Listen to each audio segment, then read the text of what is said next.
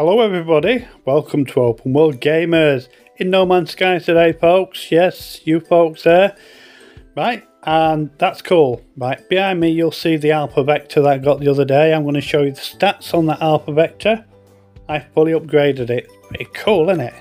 Right, now wait for this weirdness. Ready? There we go. Now that's a bit weird, isn't it? cool.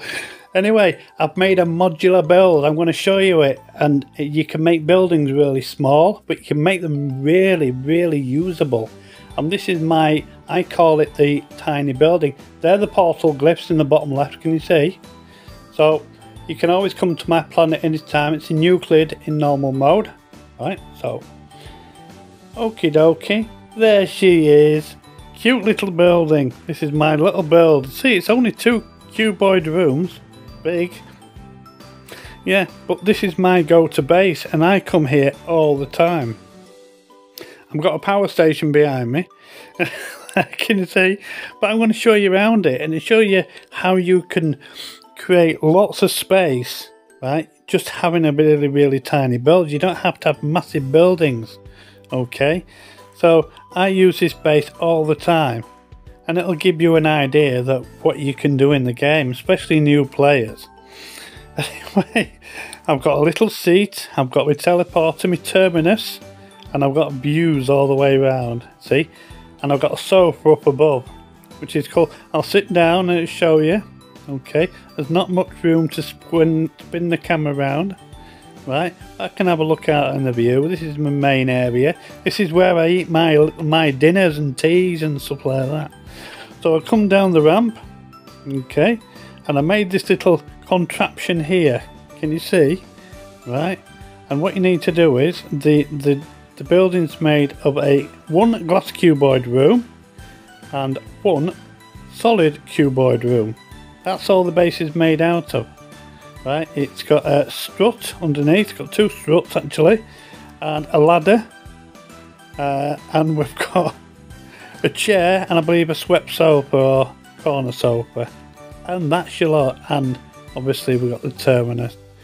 And that's it. I'm just looking through the menus now to look for my gazebo. Can't find it anywhere.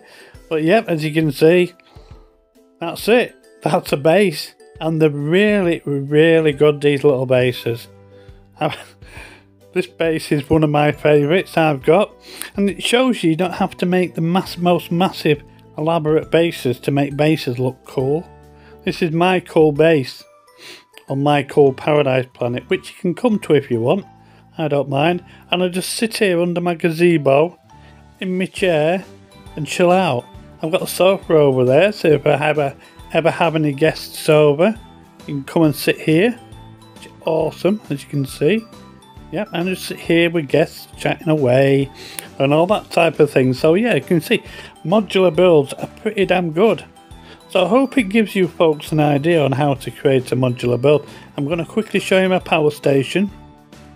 Yeah, I found an electromagnetic hotspot on this island. Yes, we're on an island, folks. So I'll show you, right, which is called that there. Right, this is my power station. So I'll just go into Y mode and you'll see these are my electromagnetic hotspots on my battery. Right, in there. Can you see I've got a wire hider and it powers this base and it's constantly powering this base all the time. I mean, so yeah, it's brilliant. I love this base, mate. It's my favourite base of all times. And it's these kind of bases, these modular tiny little bases. You know, they're awesome, as you can see.